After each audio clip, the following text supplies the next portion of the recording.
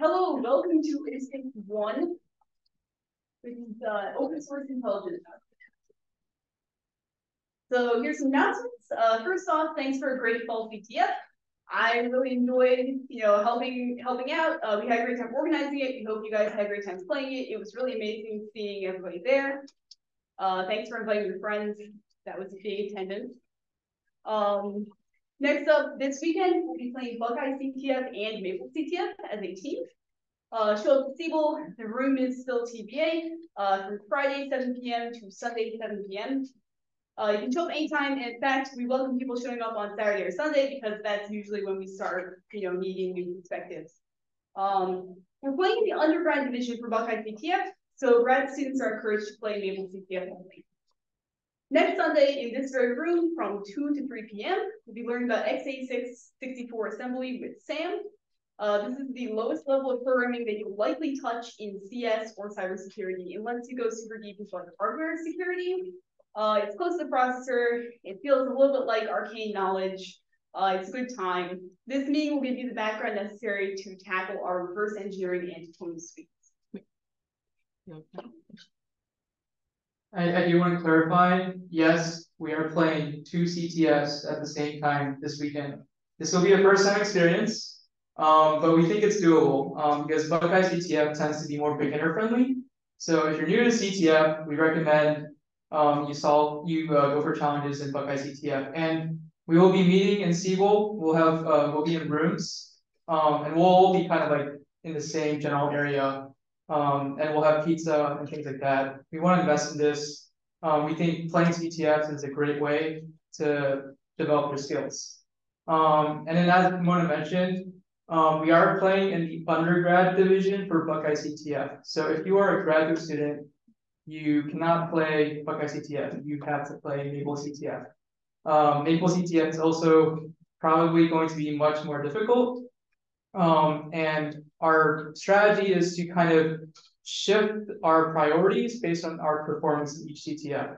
So if we're doing very well in Buckeye CTF, um, we might um, push even harder to try to get to like a top position, or uh, we might uh, switch to Maple CTF. Um, so it's going to be a very um, dynamic environment um, and it'll be pretty fun. So make sure to come. Yeah, the vibes will be interesting. Please show up. Have fun time. There's free there's free food. So at least at least grab a slice of pizza.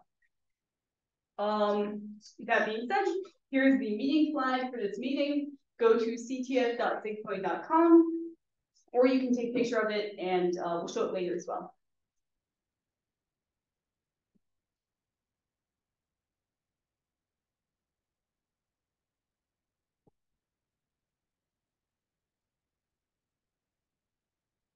All right, I'm gonna go ahead and move on. So this meeting, we're going to cover OSINT, which is open source intelligence. OSINT is everything you can discover about a system or an organization without exploiting any technical vulnerabilities to like hack into it. It'll be used in the recon or gaining entry phase of most attacks. As security researchers, we can learn how to protect people and systems against these attacks, how to minimize the amount of sensitive information on things like public social media, and we can use how to, we can learn how to use these attacks when penetration testing a target. Um, a little etymology. OSINT is open source intelligence. Open source means the stuff you're looking at is sort of analogous to open source code. It's accessible to the general public, or it soon will be uh, if you're like requesting it through legal channels. Mm -hmm. Your job is to piece together information that is already available. Right? Sometimes, sometimes it does that. That's fine. Um, uh, so most of the information, uh, intelligence means that like the information is valuable.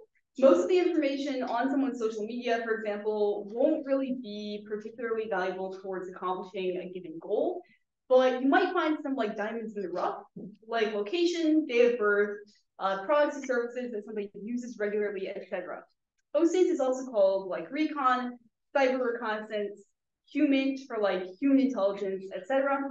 And it's generally considered easy in security because it doesn't require a bunch of like domain specific knowledge um, in a certain technical field, But that's not really true. It requires you to be very clever about working with limited information, and some parts of OSINT require good social skills, which is a different niche than most cybersecurity stuff. Uh, big important note, OSINT, especially OSINT about humans, is functionally stalking. Please don't be a creep. Uh, make sure you have permission before OSINTing someone or something. This is like very important. Uh, here at SIGPwny, explicit OSINT code of ethics. You will have to sign this like as, as a flag before you can do any of our other OSINT challenges. Uh, you need to follow this code of ethics while playing our CTF challenges as well. So I'm going to go ahead and read them. Uh, you will not interact with the end user without first confirming with absolute certainty that they are a part of the challenge. In the case of these challenges, there's no need to create any content. So that means there's no need to message anyone, comment on anyone's page, anything like that. It'll all be there and you do not have to interact with any of these accounts. Uh, second, you will not perform any port scans on backend services or attempt to do any investigation by logging into any of the aforementioned accounts. This is not web hacking. We're not trying to attack Facebook or Instagram's like actual infrastructure here. Uh, this is not guess the password. None of that applies. Uh, third, you won't perform invasive investigative OSINT on other people without their explicit consent. This includes friends, family, coworkers, and strangers. Well, exceptions exist to this code. These exceptions don't apply here. They do not apply in the, in the internal CTF or in like any Fall CTF or UIU CTF challenges that we'll write. So keep all this in mind. Please no interaction. Please no like hacking, hacking. So why is OSINT important? Well, the vast majority of like real world cyber attacks do not involve being ultra clever and finding some new like zero day vulnerability. Uh, they start with social engineering.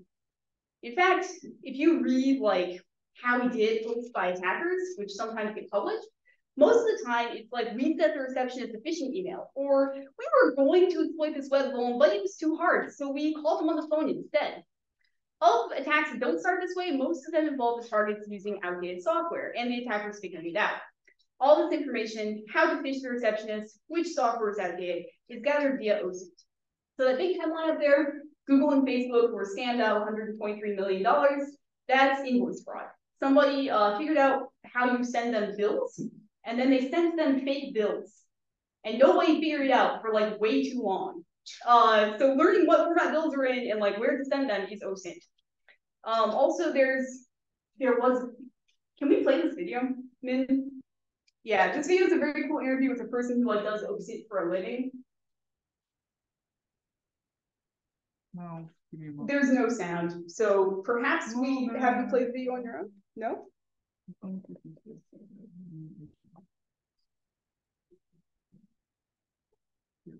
Classic IT moment. I love when it doesn't. It's my, my favorite part of my job.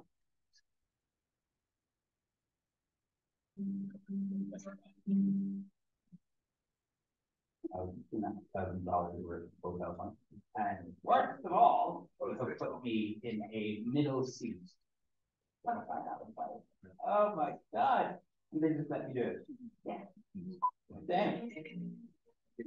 So I am here in Las Vegas for two of the world's biggest hacking conferences, and for some reason, I have agreed to be hacked. I'm meeting Rachel Tobac, who specializes in a special form of hacking called social engineering. And I'm very nervous. I feel like I know pretty much everything about you. I instantly don't trust you. So am I gonna be safer today, thanks to you? You. And every other customer will be safer today, thanks to what you're willing to let me do. Well, that's the good. Okay, so you want to assume that everything you put on social media is public. Information that can be found in places like this can be used to authenticate you with different companies. Do you remember this tweet? Yeah. I use this to gain access to your current address. What? So what I did is I called up this furniture company right here, and I basically said, hey, we're gonna buy another one of these pieces of furniture, but I need to make sure that I don't accidentally have the wrong information on the account. And they said, no, I mean, you ordered something a while ago, but the thing that you ordered, we shipped to this address. And yeah, I, I think I got this updated address, which is pretty scary, because that happened in thirty seconds. I got your current address. I got your birthday on Twitter. I called like pretty much every business that he ever listed that he used on his Twitter or Instagram. What you have to understand is when you do that, I now know which companies you use and I know which companies to call as you. What did you get from the, these people? Your phone number and your phone number. They gave me my phone number. So I'm gonna be doing these phone calls. I'm gonna be actually live talking. So when I call, your phone number is gonna display on the caller. This is Donie O'Sullivan. Who are you really? No, this is, this is Donie O'Sullivan. I just put my address, phone number, date of birth. Whatever you need to know, just verify that that's what you need. That's wild.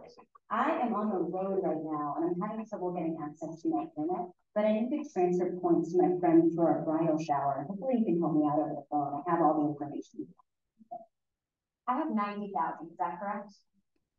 So the first and last name is Rachel Tobac. Oh, they've been transferred? Okay, fantastic.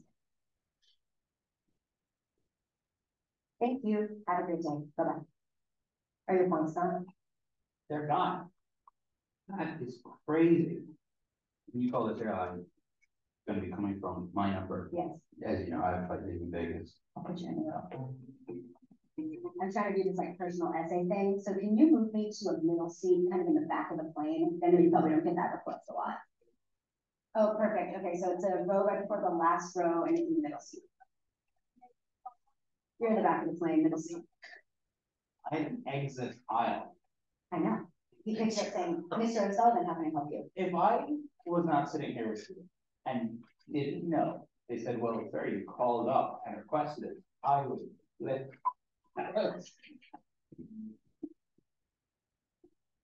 Think about how much you have to do to get into your class online. Have to a password, two. We're basically living in the dark ages on the phone compared to how hard it is to break into accounts online. Until these companies learn to change their authentication protocols, there are certain things you can do to help protect yourself. Remove your geolocation tagging. When you are on Instagram, Twitter, Facebook, there's just no need for people to know exactly where you're staying places. After that, I would say products that you buy, services that you purchase, help that you try and get online, like on Twitter, that you're probably gonna wanna do privately. So maybe in DMs, because I'm just gonna call them up as you and try and get your information. I think the most important thing is that I'm not gonna victim blame you. Yes, sure, there are things that you can do to make my job a little harder. Ultimately, it is Yes. All right. Um, You have stolen about Ripped. Good, alright, sweet. Um. Okay, so that video was fun. Uh, that video was about human intelligence, which is sort of getting information on a specific person in order to, in this case, social engineer a bunch of uh phone desk people into changing things that shouldn't be able to change or like giving you their hotel points or airline points. Um, other than human intelligence, there are a few different types of information that you can learn through OSINT. They include systems intelligence, network intelligence, and organizational intelligence. Most CTF challenges will focus on human intelligence because like social media challenges are really easy to write. But in the real world, all of these areas are very important for cyber attackers. Uh, so first, let's talk about systems intelligence. That's knowledge about the individual computers, routers, etc. in an organization. Good systems intelligence is useful information about a system that you're attacking. Any technical info that points you towards specific vulnerabilities or paths of attack. Gathering this information with OSINT won't really involve breaking in. Instead, you get the information from the system sort of voluntarily. Uh, there are several useful techniques for systems OSINT. Uh, for example, you can use like IRL information from people you know, introducing news, information requests. You can also use like port search sites. These are sites like Shodan and Zoomeye that regularly port scan all IPv4 addresses on the internet. So you can like, if you know an IP of an organization that you're targeting, you can look it up on Shodan or Zoomeye to get information about like what specific web services is that IP running. Uh, Shodan Zoomeye are also like, they change the landscape a little bit because you can also search by port to find all routers running a certain piece of software or all SSH servers with a certain vulnerability. And that means that if an attacker finds a new vulnerability, they can like find a big list of machines that are vulnerable. Another technique that's sort of in the gray area between OSINT and not OSINT is port scanning. Um, it's using software like Nmap to send requests to many ports on a machine. Then you analyze what the machine sent back, and you can usually figure out what services are running exposed to the internet. So it's what like Shodan and Zoomeye are doing. They're port scanning, but you can also port scan yourself. The problem with port scanning is that like it involves sending specially crafted requests to a site that may be deemed malicious.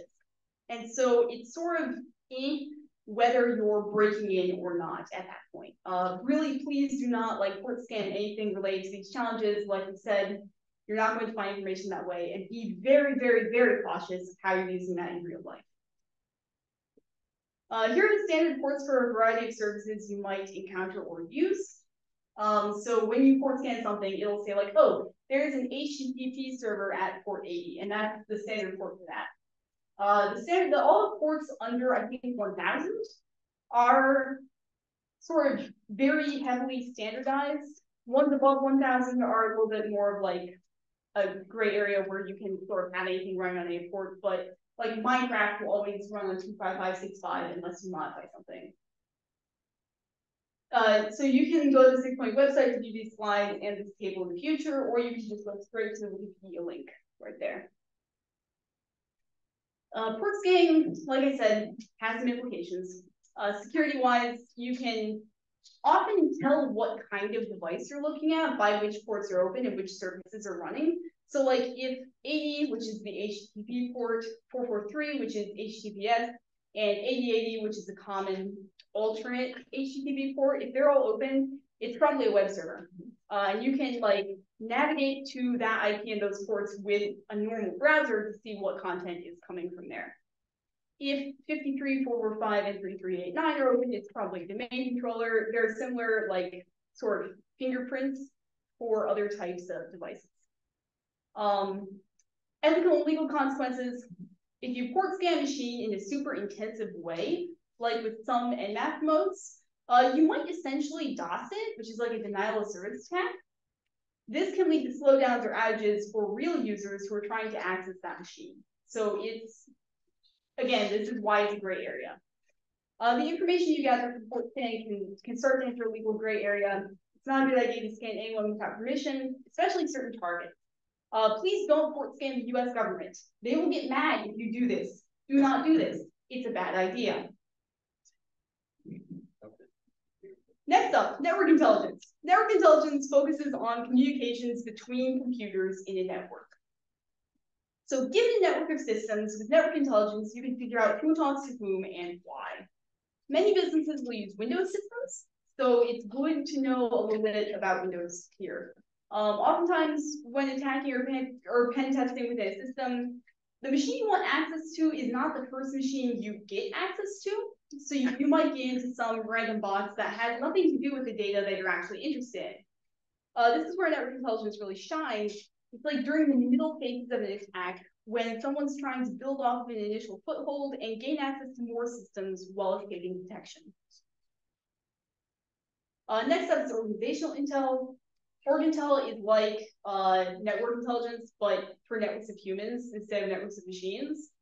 It's focused on the interactions between people, committees, departments, etc. within information. So you're within an organization. So you're basically like trying to figure out the org chart of the information and like who talks to whom and maybe like what social media platforms they use internally, like Slack. That kind of stuff is very important. Uh, specifically, you're usually trying to find like entry points where an organization's OPSEC or operational security is bad maybe they use like one common email format, like first name dot last name, meaning that given an employee's name, you can just like email them. Um, they can also like always use the same airline or hotel chain or like catering company for company events. And we've seen in that video that if you know the company that one person uses for that kind of stuff, you can mess with their account. But imagine what you could do with a business account and how much more money or more resources you might be able to control from there in a physical building, uh, maybe they don't check badges at the door. Or like, maybe there's a specific entryway that people kind of leave unlocked or open because swiping in is a hassle. Attacking a company often comes down to social engineering specific people at the company. So maybe some of them have bad security practices. Maybe there's like a couple of people who, you know, sticky note their passwords to their monitor. Uh, human intelligence is really, it comes into play here. Finally, sometimes you can pair organizational intel with systems and network intelligence to find like internal documents that shouldn't be available to the public, but they actually are. Yeah, question. Um, is it most of the time, correct me if I'm wrong, is it most of the time the source of organizational intel usually like employees who left the company or got like fired for whatever reason? Um, they might have bad gripes with where, yeah. Could be. Um, that that that could be a, a, factor. That's why talking to people IRL is pretty useful for this stuff.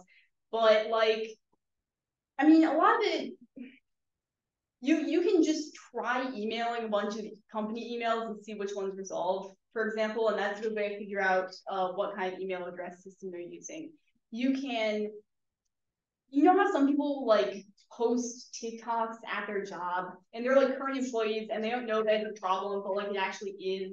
There's a lot of that kind of like inadvertent leakage that isn't this one employee really hates the company. It's just people aren't thinking about security implications and so stuff happens and stuff gets leaked. So that is a factor. It's probably not the only factor that you should be interested in, but yeah, sure, it, is one. Um, lastly, human intelligence. When we talked about not stalking people earlier, this is the subtype of OSINT that we were really focused on. Uh, we teach you about human intelligence because we believe in touching on all aspects of cybersecurity. We want you to protect yourself against attacks and test the security of other organizations if they really explicitly ask you to. Once again, though, none of this information should leave these doors and be applied to your friends, partner, parents, exes, boss, etc., without their explicit permission. Human intelligence is like maybe the easiest field of OSINT since the advent of social media because people put everything on social media. By carefully studying profiles, an attacker can build up a map of a person that might include information like their IRL address or phone number that they thought was private. Uh, often all this info has been posted online somewhere, but the target doesn't realize how easily their accounts on different platforms can be connected. Other times, like with image location, the target might be completely unaware that like this photo they posted of their backyard can be matched up with a specific address. You can gather human intelligence from social media profiles, so check out the links, pictures, posts, about section, etc. Also, it's common for people to like reuse usernames across platforms. Uh, I certainly do this, a lot of people do this. Reverse image searching could let you link accounts to each other or to websites um, and then deleted content is often preserved by archivists, including the Internet Archive, who runs the Wayback Machine. So all of these resources are things that will let you view like public information that most people don't usually think of as public. Here are a couple OSINT tips for human or organizational intelligence. Uh, first off, social media presence. Most people have two identities online. They have a personal identity and like a professional identity. Uh, some people only have one if they aren't pursuing a typical white collar career. Other people might have more than two for various things they do in their life. Your job doing human OSINT is to link these identities. People don't think that these identities are linked, but they often are. Tools like Sherlock can be used to find accounts that share usernames across multiple platforms. So that's a good tool to use. Also, like defensively, if you're trying to defend against like personal or organizational OSINT, Isolating your accounts from each other is one of the most important things you can do. There are some trade-offs. If you're a professional or a content creator, you often want to like build a personal brand by having a bunch of accounts with the same name on different platforms. Um, additionally, if you have a bunch of similarly named like personal accounts, it can just help friends find you online, and that's really cool. Uh, the answer is probably to consider how damaging or sensitive a given piece of information could be when it's viewed by a specific person with specific knowledge before you post it to a given account. So especially if you have like a secret account for some reason that you don't want to become publicized, be very selective with what, with what you post there. Think think about think things through carefully. You know, if you really want to post something, just find the right account for the task and think about uh, ways that you could be leaking your identity without knowing. Okay, here's a rundown of a few different like social media platforms and things that OSINT people will often look for there. Twitter, now X.com, unfortunately, Twitter was a better name. Um, profiles exist.